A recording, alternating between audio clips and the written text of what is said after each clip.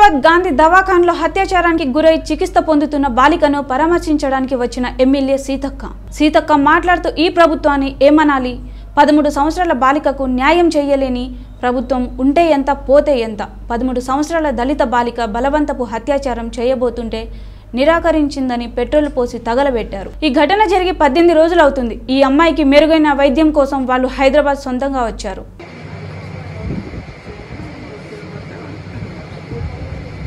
Gracias.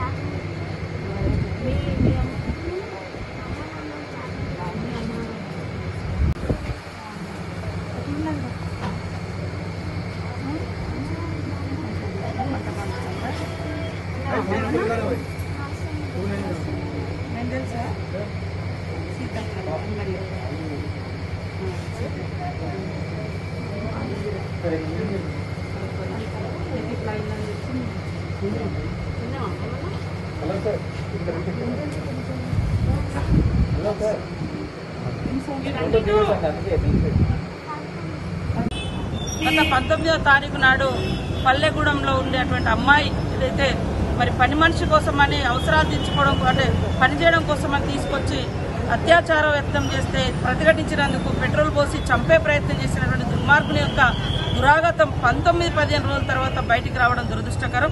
ఎక్కడో దూర ప్రాంతాల్లో కమ్యూనికేషన్ లేనటువంటి ప్రాంతాల్లో వాళ్ళు లేరు. సాక్షాత్తు ఖమ్మం పట్టణంలో.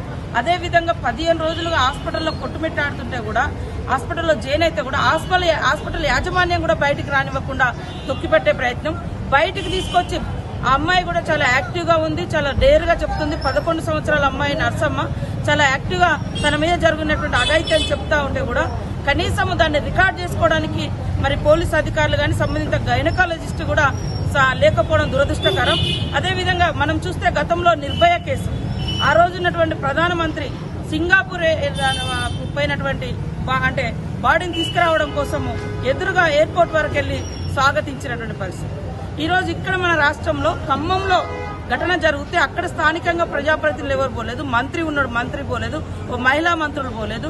అదే విధంగా కనీసం పట్టించుకోలేదు. పాపం వాళ్ళకు వాళ్ళు మొన్న నైట్ వచ్చి ఇక్కడ జేనేరు చిన్న కుటుంబం చిన్న కూలి కుటుంబము అక్కడ నుంచి పేదరికంలో మగ్గుతున్నారు. ఒక దిక్కు అభద్రత ఒక దిక్కు భయము ఒక దిక్కు ఈ తెలియనటువంటి ప్రపంచంలోకి వచ్చిర్రు.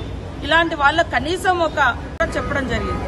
ఇమ్మీడియట్గా సంబంధిత పోలీస్ స్టేషన్కి సంబంధించినటువంటి అధికారులు అక్కడటువంటి కలెక్టర్ గారు అక్కడ ఖమ్మం జిల్లా ఎస్పీ గారు మరి ఇక్కడ అమ్మాయి వెంట కేర్ టేకర్స్ను పంపించాలి. అదేవిధంగా సంబంధిత పోలీస్ స్టేషన్ అధికారులను పంపించాలి. ఇక్కడ గైనకాలజిస్ట్ ఆధ్వర్యంలో వెంటనే వారి యొక్క అభిప్రాయాన్ని రికార్డ్ చేయాలి అని చెప్తున్నాం. ఎందుకంటే ఈ అమ్మాయి యొక్క పరిస్థితి బాగలేదు కాబట్టి ఇప్పటికే తప్పుడు ప్రచారం మొదలుపెట్టారు లేదు ఏదో దీపం పడి పడ్డదని.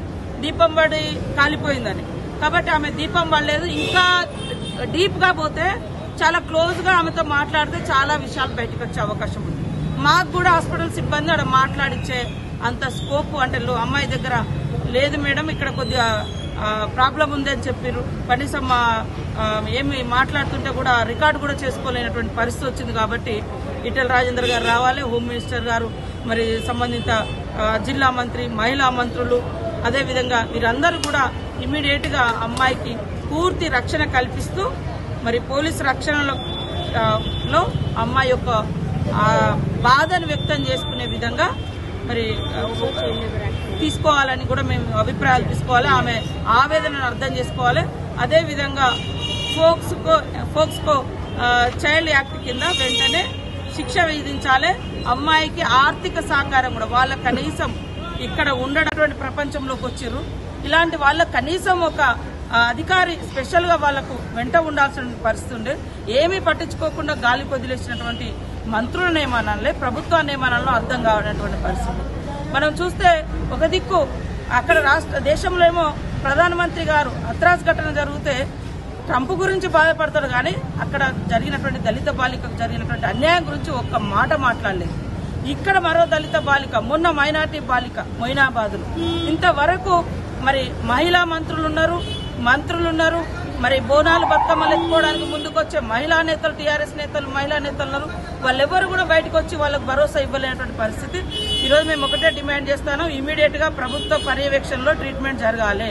ఆ కుటుంబంతో అమ్మాయితో ఒక అమ్మాయి ఆమె ఆమెకు కేర్ టేకర్గా వచ్చింది ఒక్కడే వాళ్ళ చిన్న ఆయన వచ్చింది పాపం వాళ్ళ అమ్మ నాన్న కూడా భయపడుతున్నారు. ఆడవాళ్ళు ఎవరైనా ఉండాలి వెంట అమ్మాయి కాబట్టి. కనీసం ఇంత గాలి వదిలేసినటువంటి స్థితిని మనం ఎక్కడ చూడలేదు. మొన్న మా బట్టి విక్రమార్క గారు కూడా మాకు ఈ విషయం చెప్పడం వారు కూడా స్వయంగా అక్కడ ఊరికెళ్ళి వాళ్ళ విలేజ్కి వెళ్ళి పరామర్శించడం జరిగింది. ఇప్పుడు ఇమీడియట్గా మేము ఒకటే డిమాండ్ చేస్తాను. అమ్మాయి పరిస్థితి కొంత ఆందోళనకరంగా ఉందని. డాక్టర్స్ అదేవిధంగా ఆర్ఎంఓ గారు సూపరింటెండెంట్ అదేవిధంగా ప్లాస్టిక్ సర్జన్స్ వాళ్ళు కూడా చెప్పడం జరిగింది. ఇమ్మీడియట్గా సంబంధిత పోలీస్ స్టేషన్కి సంబంధించినటువంటి అధికారులు అక్కడ కలెక్టర్ గారు అక్కడ